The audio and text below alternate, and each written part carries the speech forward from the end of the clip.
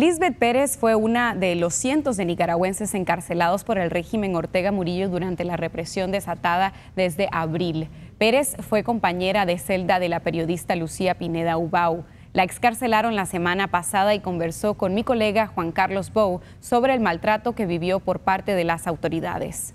Lisbeth Pérez fue presa política de la dictadura. Estuvo 58 días en prisión hasta su liberación el pasado primero de marzo. Nunca supo por qué la detuvieron. No la llevaron a los juzgados ni le mostraron una acusación. Pero en la vieja cárcel del Chipote, Lisbeth compartió celda con Lucía Pinet Wow de 100% Noticias y es testigo del maltrato que la periodista ha sufrido. Para comenzar es una celda muy pequeñita, muy reducida, creo que este es el área de la celda en donde habían eh, la plancha de abajo donde ella estaba sentada, la de arriba y en medio casi frente a la puerta la otra plancha. Entonces nosotras entramos así, no podíamos caminar. O sea, si se caminaba una, no caminaba la otra. Yo encuentro a Lucía sentadita así en la plancha así. Pero en esta posición, miren, ida, así. Entonces yo me le siento enfrente en la plancha y yo le digo, Lucía, Lucía, sos vos. Oye, Lucía, sos vos porque estaba oscurita la celda. Y entonces ella no contestaba, ella estaba en un estado como metida dentro de ella misma, en una concha, metida, no hablaba, no sonreía, no decía nada. Pasó como media hora yo y le hacía, esta no es la Lucía, usted está loca, le decía yo. Porque anteriormente ella, yo no sabía que había estado en la celda 38 con Maribel, con Heidi y con Yubelka. Y dice, hasta que la Maribel se le acercó y le dijo, Lucía, soy yo, Maribel, ¿te acuerdas de mí? Y entonces ella se quedó así y la quedó viendo y bajó las manos. Sí, le dice, y la Yubelka. Entonces ella reaccionó. Lucía lo único que hizo cuando logró volver un poquito fue, se levantó, dio la vuelta, se metió al baño y dijo, se regresó y se volvió a sentar así, dijo, no sé en el baño que está taqueado. Y allá al fondo del baño vimos en oscuro un poco bolsita, un excremento, hermano. Donde la mujer hacía sus necesidades, las metía en bolsitas que le pasaban ellos mismos y cada tres, cuatro días las sacaban. Entonces, en esas condiciones pasó Lucía 36 días en solitario. Las pésimas condiciones carcelarias de Lucía Pineda y Miguel Mora se han denunciado internacionalmente. Pero el compromiso del periodismo digno de Nicaragua es mantener la libertad de expresión. Un grupo de eurodiputados son los únicos que lograron visitar a ambos periodistas en las celdas del viejo Chipote. Mora estaba en la celda 33, al final eh, era un como esta mano y aquí está Mora al final y tiene estas tres paredes que no dejan pasar aire luz, ni nada. Mora está encerrado completamente en un solitario. A finales de enero, Mora y Pineda fueron trasladados a las cárceles La Modelo y La Esperanza del sistema penitenciario. A Lisbeth le preocupa la nueva situación de Lucía, a quien afirma que observó muy decaída en prisión. Cuando ella está con nosotros en la celda 38, ya lleva como un mes con nosotros, ella ya como que despertó, la poníamos a hacer ejercicio. Y trotaba la pobrecita así, mira trotaba y decía, y sudaba y decía, ay Lilla, ya, llegó como 600 trotes. ¿Y porque sabes que iba a 600? Por el tiempo, me decía, ah, pues apúrate, le digo, vamos llegando a la Bolívar, apúrate, apúrate, ya vamos, ya vamos. Ya, y, y eso como que la volvió a la vida.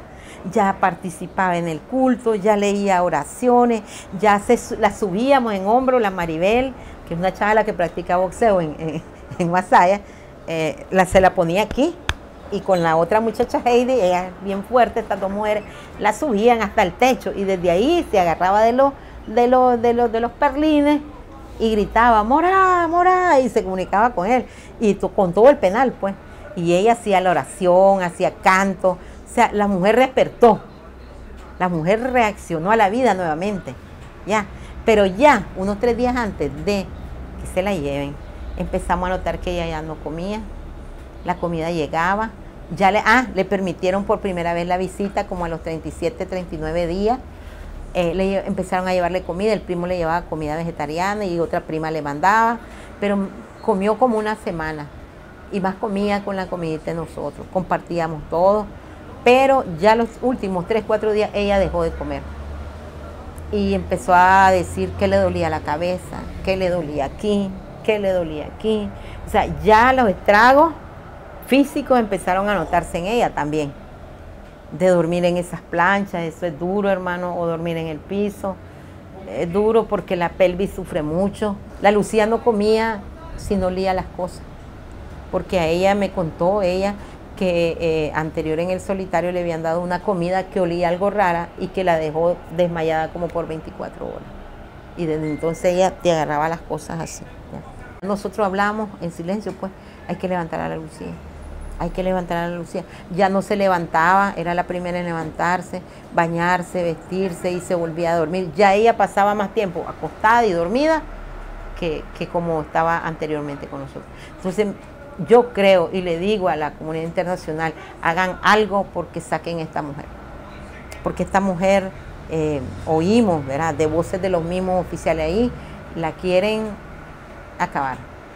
La van a deportar. Eso es el fin de ella por parte de este gobierno. Lisbeth conoce las entrañas del sandinismo. Fue guerrillera entre 1976 y 1980 y militante fundadora del Ejército Popular Sandinista. Ahora es veterana de guerra y fue detenida en su vivienda en Managua tras un cateo en el cual no encontraron nada para acusarla. Entraron y me dijeron que traían una orden de allanamiento. Eh, me la pusieron en la mesa, pero no me dejaron ni leerla. Me dijeron, mire, venimos, traemos una orden de allanamiento. Me dejaron ver o me hicieron creer en ese momento de que ellos venían, eh, porque yo, yo tenía armas en la casa, yo había traspasado armas, yo hice trasiego de armas, aquí se hacían bombas, morteros, bueno, como que aquí era un taller de, de armamento, de hacer cosas así. Entonces yo le dije, es totalmente falso, pero como el que no la, no la teme, mi hermano, yo le dije, bueno, empecemos pues. ¿Por dónde quiere empezar? Ellos no vinieron con violencia, eso sí, vinieron alrededor de unos 25 oficiales aquí adentro de la casa y a cada uno de mis hijos lo, se les pegó un oficial, los puso, se le pegó y vos te estás aquí, no te movas, no me manipules celular, no me manipules, decía llamadas, cortalas, ¿no?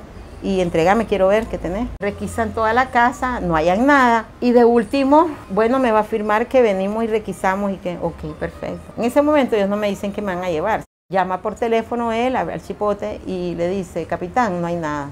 ¿Ya revisaron? Sí, y no hay nada. Ok, la oigo yo que le dicen. Entonces me dice, bueno, fírmeme y nos va a acompañar. Yo le digo, ¿y por qué los tengo que acompañar? Muéstreme la orden, pues. ¿Por qué me tengo que ir? No solo vas a firmar lo de siempre. La casa de Lisbeth fue allanada ilegalmente en dos ocasiones. El 28 de noviembre de 2018 sus dos hijos y unos amigos fueron arrestados y detenidos por una semana en las celdas de la estación 2 de la policía. La policía actúa sobre denuncias falsas, no investiga antes de venir a, hacer un allanamiento, gastando medios, porque ese día eran como seis patrullas, todo el distrito 2 estuvo aquí. Todo el distrito 2 con perros, con, con detectores metálicos. Lisbeth dice que los oficiales no la golpearon ni torturaron. La ex guerrillera esperaba salir en 24 o 48 horas después de su arresto porque no encontraron nada en su casa, pero sus cálculos fallaron. Empiezo yo a decir, bueno, yo tengo siete días aquí y no he visto al investigador que lleva mi caso, porque yo miraba de que todos los días y a toda hora esos portones se abrían, bangan, bangan, bangan, sacando a la gente para investigarlo. Pues los investigadores que llevaban los casos, ellos sabían la denuncia que había, eh, eh, quiénes eran los que te denunciaron y eran los que te interrogaban para saber la verdad. Pero a mí solo dos veces me sacaron y nunca más le volví a ver la cara al investigador. Ahí no es miedo a lo físico, lo, lo que le tenemos, es la incertidumbre de no saber qué va a pasarte, a dónde te van a llevar. Y, si nos mataran fuera lo mejor de un solo, ya sabemos que ya, párense ahí, bum, bum, bum, ya está, se acabó. Pero no sabemos cada que se abre esa puerta, ya, ahí la gente tiembla de miedo, ahí la gente llora por la incertidumbre. Durante su cautiverio en el Chipote, Lisbeth también fue testigo de las dos únicas visitas de organismos internacionales a esa prisión, la de los eurodiputados y la otra de la Cruz Roja, que ocurrió entre el 7 y el 17 de enero de 2019.